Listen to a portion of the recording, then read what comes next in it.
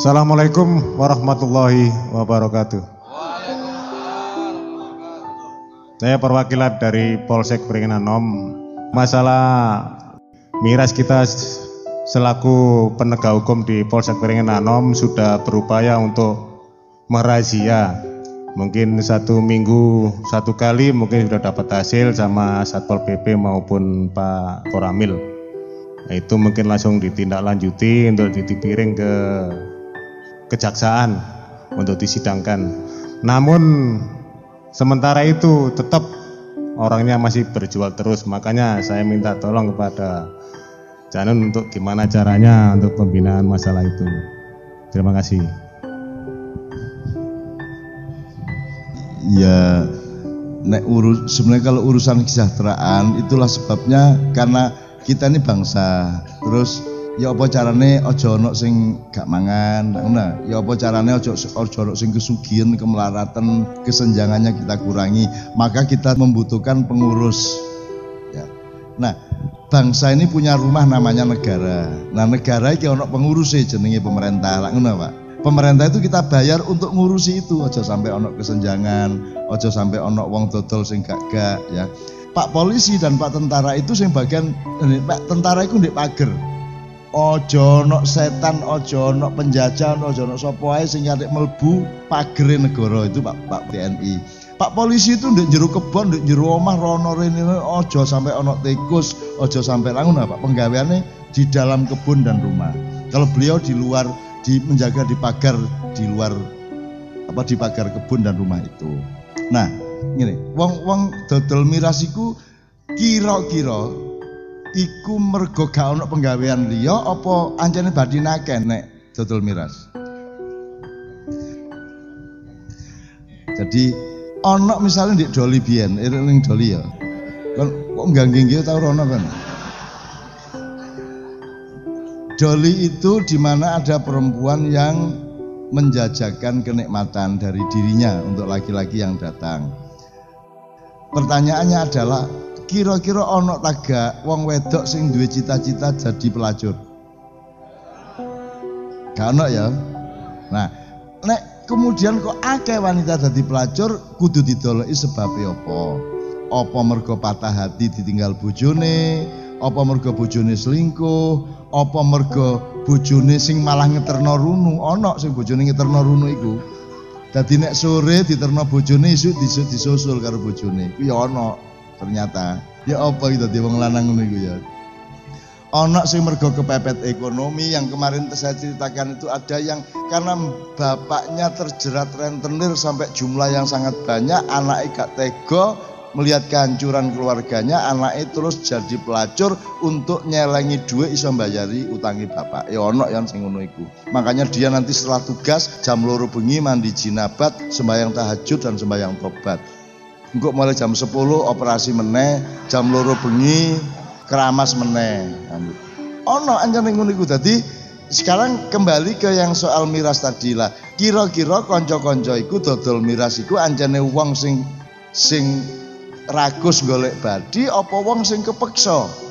Kan prosentasenya harus kita ketahui, Pak. Maka pendekatan kita kepada mereka itu tidak tidak boleh hanya pendekatan oleh gak oleh, Jangan hanya pendekatan haram atau halal, harus ada pendekatan budaya dan ekonomi.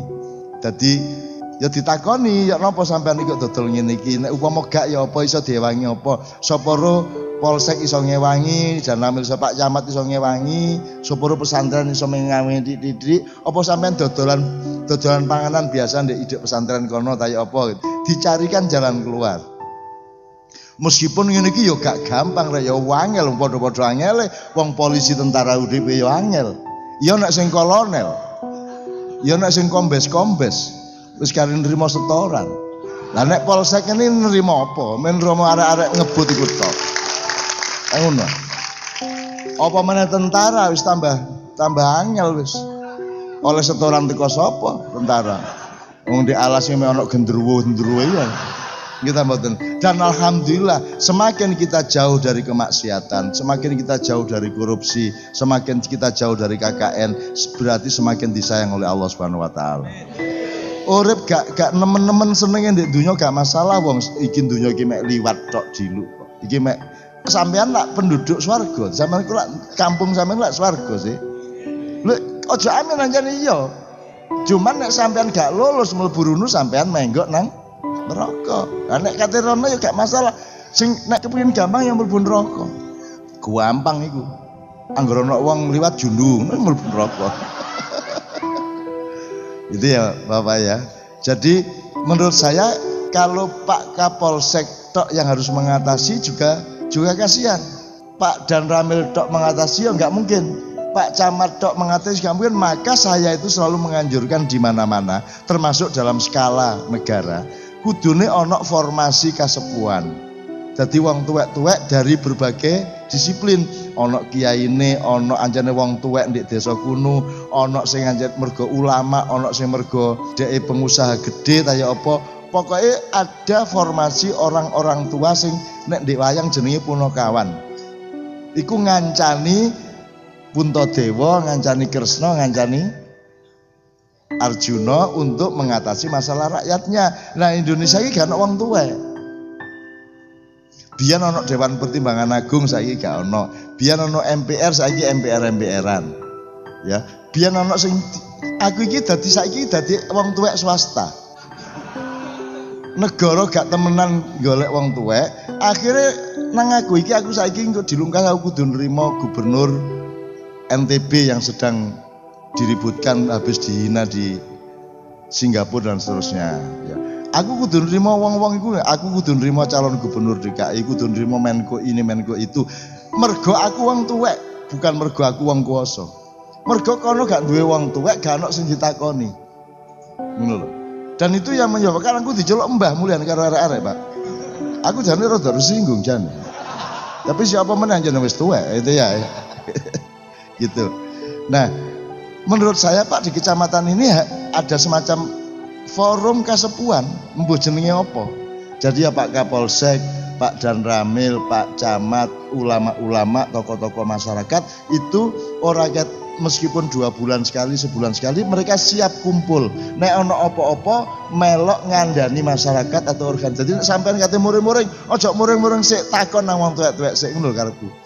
Itu kudune ngono iku negara. Maka ada bedanya pemerintah sama negara. Jadi ada pengurus yang namanya pemerintah, ada permusyawaratan yang namanya negara. Nek pegawai negeri itu bukan pegawai pemerintah, itu pegawai negara. Karena mereka permanen, taat kepada undang-undang, jika duit sampai pensiun, maka mereka pegawai negara. Nek pemerintah itu outsourcing, nyewa dilu. Kalau tentara itu negara, itu alat negara. Polisi alat negara, bukan alat pemerintah.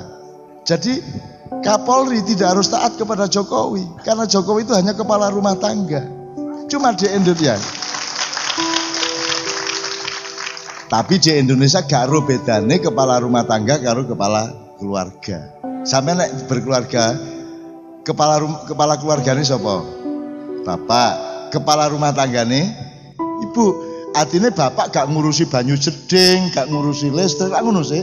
Itu kan kepala rumah tangga. Nah, presiden yang namanya pimpinan pemerintah itu adalah kepala rumah tangga. Dia ngurusi tambang, ngurusi alas, gitu gak? Ngurusi pelaksanaan pembangunan itu dia kepala rumah tangga. Menteri adalah stafnya kepala rumah tangga, bukan pegawai negara.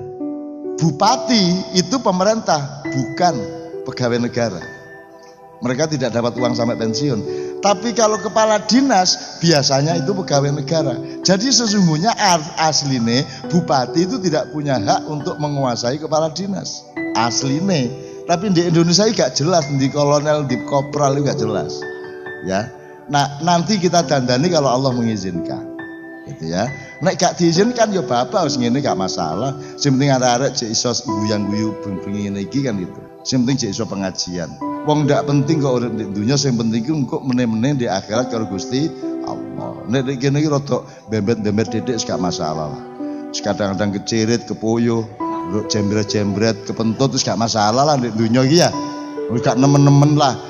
Yang penting kita tidak melakukan melakukan sesuatu yang menyakiti Allah sehingga nanti kita tetap diterima di surganya Allah dan nanti di sana kita bercinta, bercengkrama dan disopo karo Gusti Allah. Wajan Quran ada orang yang nanti masuk surga tapi gak disopo karo Gusti Allah ndane ngersulone. Kon gak diwawo lak tau ngalami sih rek. Ya apa rasane? Nek lah iya kon gak diwawo kancamu loro. Apa meneh gak diwawo bapakmu ibumu. Ndane ora. Lah saiki kon gelem gak diwawo Gusti Allah. Itu sing tak paling tak wedeni ndek ngene iku gitu. Aku iso mlebu swarga nek sampai Gusti Allah gak gelem nyopo aku ndane. Gak enak ngono aduh gak enak pokoknya ngono ya rek ya. Tak dongakno sampean kabeh iki insyaallah tidak pernah melakukan hal-hal yang membuat Allah tidak menyapa Anda. Allah akan mencintaimu. Allah mendekat kepadamu lebih daripada kamu mendekat kepada dia itu janjinya Allah. Wahai hambaku kalau engkau melangkah satu langkah kepadaku aku menuju kamu satu depa. Kalau kamu menuju aku satu depa aku berjalan ke arahmu sepenggala sak watang. Ngono rek? Jadi kon mebus kon rene didik Gusti Allah sing luwih sregep nekane awakmu itulah Allah.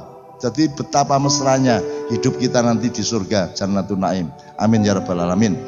Sekarang kita istirahat dulu dari pikiran cekak rengat dasi ya monggo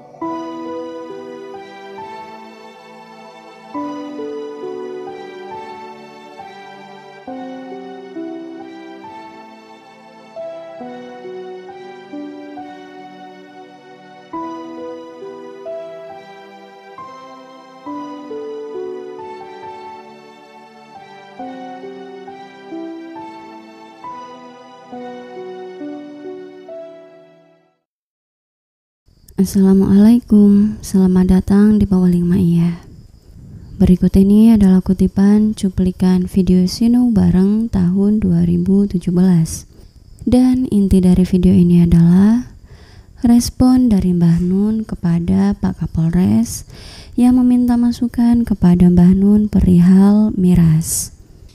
Menurut Pak Kapolres, selama ini ia sudah sering merazia pedagang bahkan menangkapnya kemudian dipersidangkan.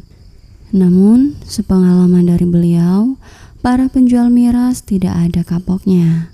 Karena meskipun berulang kali sudah ditindak dengan tegas, namun selalu saja kembali menjual miras.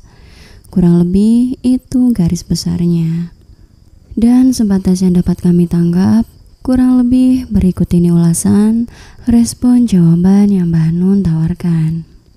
Poin yang pertama adalah Mbah Nun perlahan-lahan merangkai cara berpikir untuk sampai kepada jawaban yang beliau maksud. Jadi menurut Mbah Nun, apa yang dipertanyakan Pak Kapolres akar permasalahannya adalah soal kesejahteraan. Karena menurut Mbah Nun, kita ini bangsa, maka tugas negara adalah menjamin agar bagaimana caranya jangan sampai ada yang tidak bisa makan, jangan sampai ada yang jualan barang yang tidak-tidak, dan jangan ada yang terlalu kaya dan terlalu miskin, kesenjangannya kita kurangi. Oleh karenanya, untuk mengurusi hal-hal di atas tadi, maka kita membutuhkan pengurus. Nah, pengurus ini namanya pemerintah. Jadi, pemerintah itu tugasnya adalah mengurusi rumahnya rakyat, dan pengurus itu disumpah, diberi mandat, dibayar, diberi tunjangan dan fasilitas untuk jadi pembantunya rakyat. Intinya, Hendaknya negara ini seharusnya berlaku sebagaimana semestinya negara itu dibentuk, yakni menjamin kesejahteraan bangsanya, mengurus supaya bagaimana caranya tidak ada yang terlalu miskin dan tidak ada yang terlampau kaya, menjamin supaya tidak ada penduduknya yang tidak bisa makan, dan menjamin keamanannya. Dan semua hal itu adalah kewajiban yang harus dilaksanakan oleh pemerintah yang sudah digaji. Jika kita mencoba untuk napak tilas, maka sesungguhnya sejak dahulu kala Nusantara ini adalah rumah kita.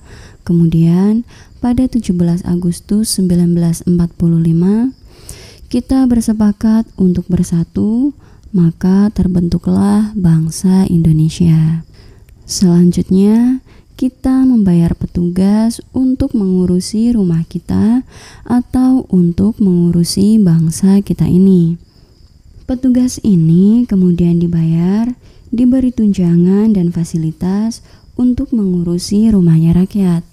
Seperti misalnya untuk mewujudkan tujuan mendasar dari negara ini dibentuk, yakni menjamin kesejahteraan dan keamanan penghuninya. Aman di sini tentu sangat luas artinya, seperti aman martabatnya, aman sekolahnya, aman biaya kesehatannya, aman kebebasannya, dan seterusnya. Kebebasan yang dimaksud tentu kebebasan yang terukur, seperti misalnya kebebasan dalam berpendapat dan sejenisnya.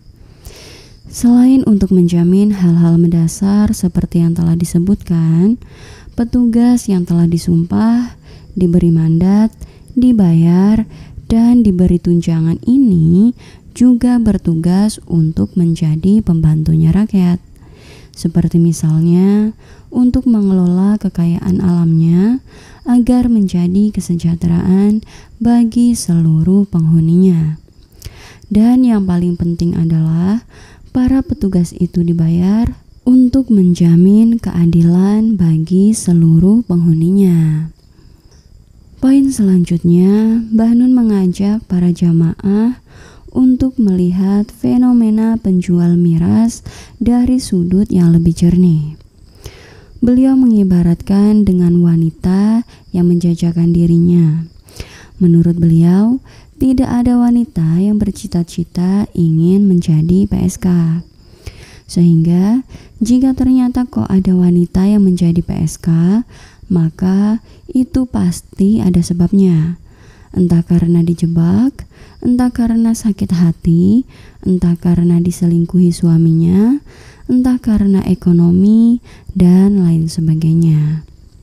Intinya, kita tidak boleh hanya menggunakan sudut pandang haram atau halal saja boleh atau tidak boleh saja. Begitupun dengan teman-teman yang jualan miras. Mereka itu karena memang rakus harta atau karena susahnya lapangan pekerjaan atau karena memang ada ketidakadilan yang berkepanjangan sehingga menimbulkan kesenjangan ekonomi ataukah memang karena hal yang lainnya itu harus dicari benar-benar, kemudian sebisa-bisanya mencarikan solusi bersama. Misalnya dengan bekerja sama dengan Pak Lurah untuk mencarikan pekerjaan atau mencarikan gerobak untuk berjualan. Jadi intinya, jangan sebatas melarang dan menghukum tanpa tahu sebabnya apa. Jangan juga hanya menggunakan halal haram, namun ajaklah bermusyawarah, kemudian dibantu dan bersama-sama dicarikan solusinya. Karena kalau hanya dilarang kemudian dihukum, maka tidak menutup kemungkinan dia akan berjualan miras lagi. Karena memang keadaan yang memaksanya demikian. Namun sebaliknya, jika memang sudah diberi solusi, tapi dia masih tetap berjualan miras, maka barulah dihukum. Hal ini sejalan dengan apa yang sering Banun kemukakan, bahwa para pemimpin, para pengurus, dan sejenisnya itu hendaknya mengamalkan Quran Surat An-Nas. Karena pada surat tersebut Allah telah memberikan metodologi yang luar biasa, yakni pertama-tama Allah hadir kepada manusia sebagai pengasuh yang berfungsi sebagai pengayom alias Robunas.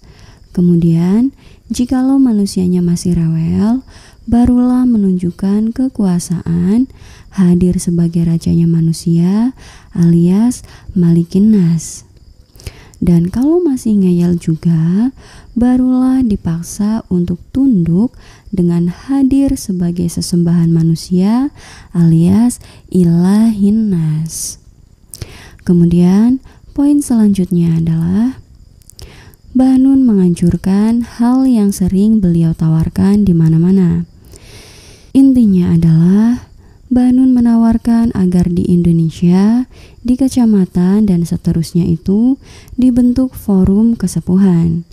Kalau dalam istilah wayangnya namanya ponokawan. Dan kalau istilah di suku-suku pedalaman namanya orang yang dituakan.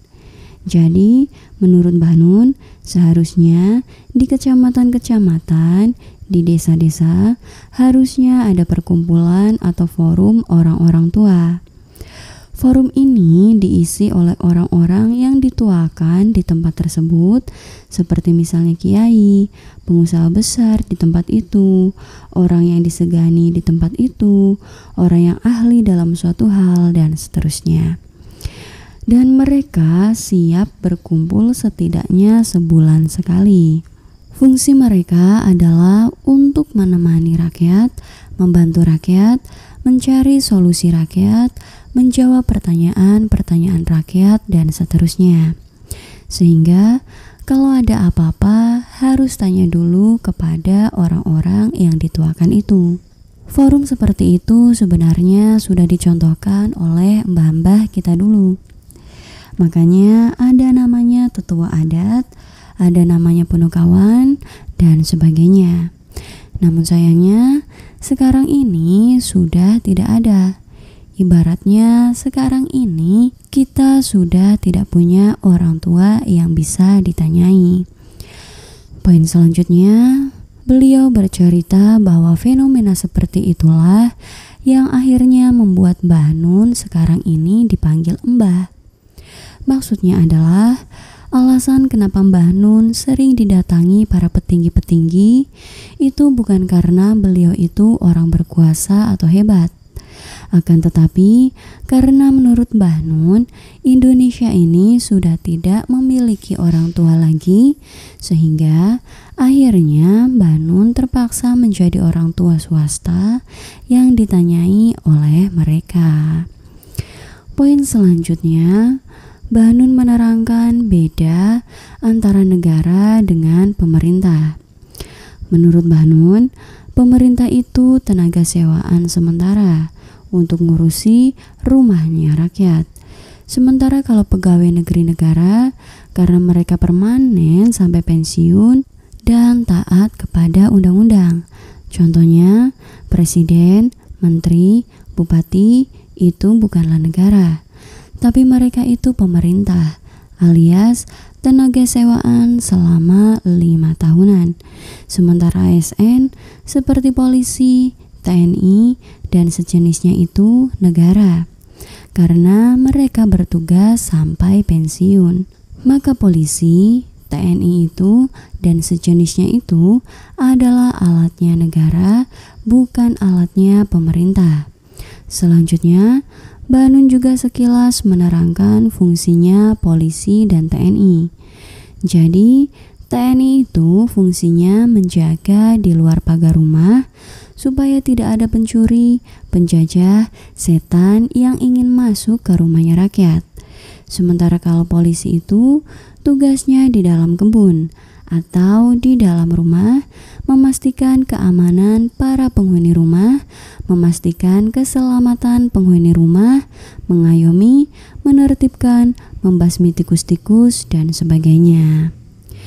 Jadi sebenarnya ASN atau pegawai negeri itu seharusnya taat kepada undang-undang, bukan taat kepada pemerintah yang hanya tenaga sewaan. Istilahnya, karyawan tetap hanya tunduk kepada undang-undang atau SOP perusahaan. Sehingga sukar untuk dicerna akal sehat jikalau ada bupati kok memecat kepala bagian yang jelas-jelas sudah puluhan tahun bekerja dan lebih mengetahui masalah. Seharusnya kalau toh kepala bagian itu memang melanggar, maka petugas etik yang bisa memecatnya dengan berlandaskan kepada undang-undang yang dilanggar oleh kepala bagian itu. Karena kepala bagian itu adalah SN, sehingga wajib tunduk kepada undang-undang, bukan tunduk kepada pemerintah bupati yang hanya tenaga sewaan lima tahunan. Poin yang terakhir adalah Banun menggarisbawahi bahwa kalau Allah mengizinkan, insya Allah kekeliruan-kekeliruan itu akan kita benahi. Namun jikalau tidak diizinkan, ya sudah, tidak apa-apa. Yang penting kita masih bisa bergembira, sinau bareng seperti begini sudah cukup. Dan yang penting, asalkan kita bersama Allah, maka bereslah sudah. Sementara di dunia ini susah-susah dikit, sedih-sedih dikit tidak masalah. Karena cuma mampir lewat saja, cuma sementara. Yang penting akhirat kita beres, maka sudah lebih dari cukup. Karena di sanalah kampung halaman kita yang sejati dan di sana nanti kita kekal tak ada lagi kematian. Kurang lebih itu garis besar respon jawaban yang Mbah Nun sampaikan sebatas yang dapat kami tangkap. Oke dulur-dulur, sampai di sini dulu ya ulasan atau pointernya. Sebenarnya masih ada begitu banyak hal yang dapat kita pelajari bersama dari kutipan Sinau Bareng pada video ini. Ulasan, pointer, atau rangkuman yang kami ungkapkan itu hanya sedikit gambaran saja. Dan semua yang kami ungkapkan itu bukanlah sebuah kebenaran.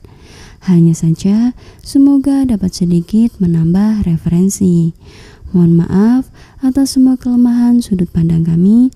Matur suwun dan sehat selalu saudaraku. Wassalamualaikum.